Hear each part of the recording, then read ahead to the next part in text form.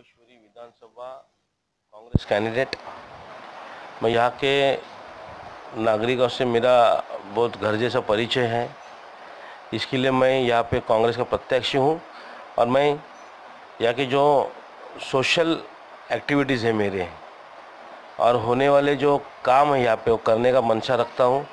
जैसे कि आपको मालूम होगा कि चार पंद्रह दिन पहले, चार दिन का कर्फ्यू यहाँ पे लगा था क्योंकि सत्ताईस सौ झाड़ ये सरकार ने काटे थे।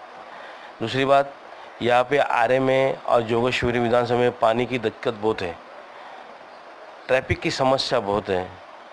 हॉस्पिटल है, लेकिन उसमें सुविधा नहीं है कुछ। ऐसे बहुत सारे इशू। एस के प्रॉब्लम तो बहुत बड़ा जोगेश्वरी में तो एस का बहुत बड़ा प्रॉब्लम चल रहा है। ऐसे लोकल इशू लेके मैं जनता के माध्यम तक जाऊँगा और मेरा, मैं विश्वास दिलाता हूँ कि मैं भारी मतों से जीत के आऊँगा।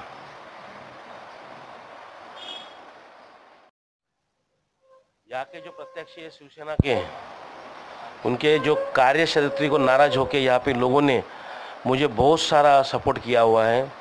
जैसे कि अदर पार्टी के लोग भी मुझे सपोर्ट कर रहे हैं एनजीओ सपोर्ट कर रहे हैं लोकल कार्यकर्ता मेरे को सपोर्ट कर रहे हैं, यहाँ की नागरिक जनता मेरे को सपोर्ट कर रही है। उनके भरोसे पे मैं हंड्रेड एंड वन परसेंट जीतूँगा।